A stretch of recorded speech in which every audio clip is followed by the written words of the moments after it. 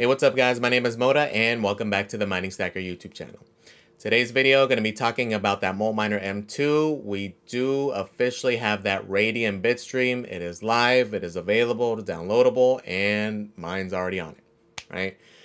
So we'll talk about that because this is a pretty big deal because this is going to be the first commercially available FPGA that has a bitstream that's publicly available for Radiant, right? We've seen screenshots of people with FPGAs before, but again, those are like closed source, hard to get. This is the first commercially available FPGA that has that bitstream available now, right? And we do also have the specs for the next bitstream, which is going to be for Ironfish. So we do have those specs as well. So we'll talk about them, right? So if that sounds good, guys, stay tuned, all right? So let's get to it. So we do have a little bit more info overall on that Multminer. The manufacturer did put up a website now, so it is 1024miner.com. Um, we scroll through the other products they do have are two Scrypt miners. And they did have the other one listed on here. They removed it from these, but if you look on the banner up here, it does come up. They do have a server case eventually for a Aleo, right? So I'm assuming it's going to be like a proof of useful work kind of thing. We'll see what that's looking like. Uh, they didn't have any real, real information on it. I'm sure we're going to see others as well. I know iPollo was teasing one. But anyways, you go through their website. This is where we did get the firmware for it. You go to support and you can see it here listed for the M2, right? RxD firmware was posted yesterday. This is where we all downloaded it from and it was up and running within like a minute after downloading it, right? Very quick, very easy. Um, I'm going to go in depth on how to do it. Shout out to Coastal Crypto. Follow them, watch their video. They did an in-depth review of the M2 and they went over it in detail. But just to summarize, you download it, go into the console of the miner. There is going to be an area for you to upload that firmware. Download this guy to your desktop, upload it from there, and then just change your bitstream, right? When I did it, if you watch their video, they did get an error. Mine also did get that error, but when you go to change that bitstream, when you punch in RxD, it still does transfer. It is there, and it was up and running in just literally about a minute, right? Just punched in my wallet address, and away we went, right? So would recommend watching their video though, does go in depth. That way you get more familiar with it, right? A lot of good insight on the unit as well. Um, so now let's look at the results, right? So I did have mine on there. It's been about 24 hours. It's been about 22 hours. So I think the, the last one day hash rate is going to go up a little bit higher, probably to about 13.5 gigahash, which is good, right? Because the specs had it at 12 gigahash at 1050 watts. So the wattage is on point and it looks like it's getting a little bit more, right? Mine's at about 13 gigahash, which is pretty good, right? So pretty happy there. Um, again, it's been about 22 hours and it's been kind of up and down, you know, just like the Kaspa bitstream was, which is no big deal. You want to worry about your average and that you're getting what you should be getting, right?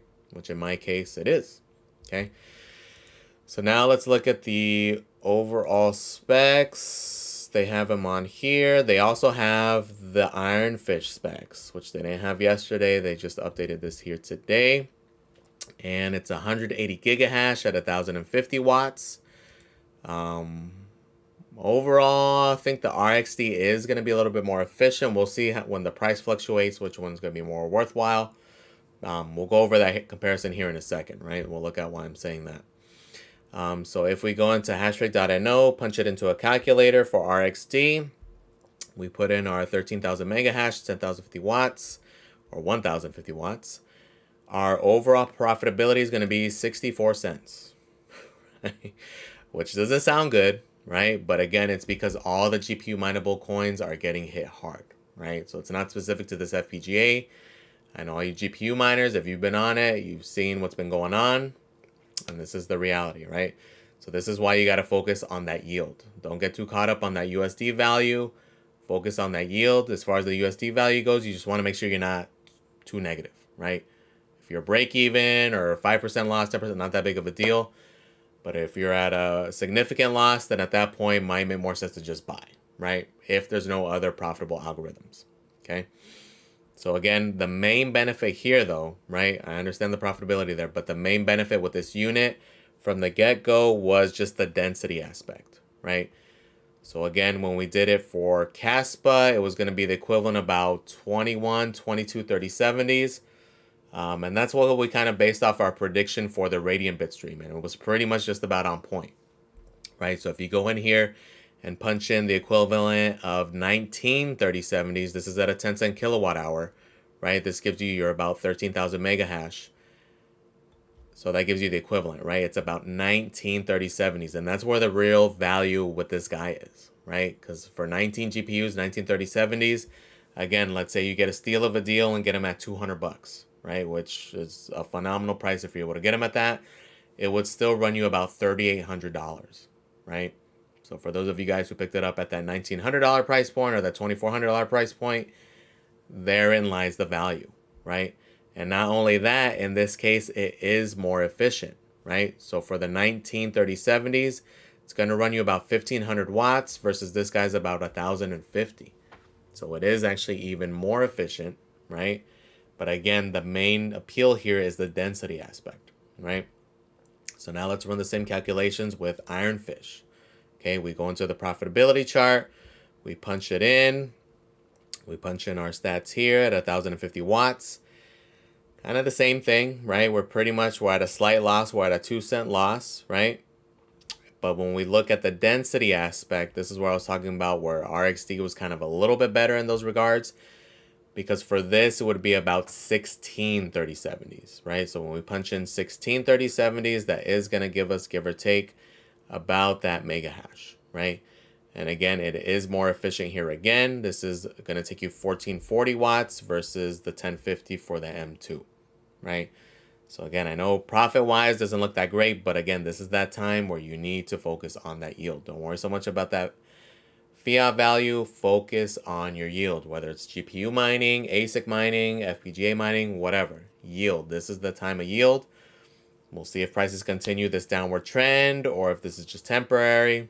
We'll see. Time will tell on that front. Everybody has their strategies there. Some don't even care about the fiat value and if it's at a loss completely.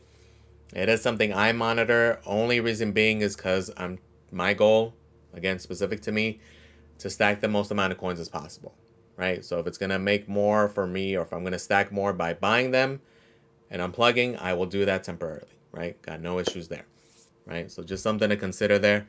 But again, that's the main appeal with this guy is again, at this point, 16 3070s is gonna run you if you get a crazy deal, 3200 bucks. Right? Realistically, if even at $300 is still considered a pretty good deal, right? And at that point, that would be $4,800, okay? So just factor factor that in when you're thinking about whether or not it's a good deal. So in reality, is it a good deal? Here are my thoughts on it, right? If it was a grade A unit, meaning I got mine in, it was mint, it was ready to go. Maybe out of the, you know, 50 people who got theirs, there was only like three or four bad units I would probably give it a higher rating, right? I do have an issue with mine. I do have one dead chip on one of my boards, and I know a lot of people have had issues. And luckily, mine is only one chip. It's not an entire board. I know some of you guys had issues with the whole board being down. Um, so as far as price goes, to me, the $3,000 price point coming from the manufacturer is kind of high, right? That 1900 to 2400 anywhere in that ballpark, not a bad deal.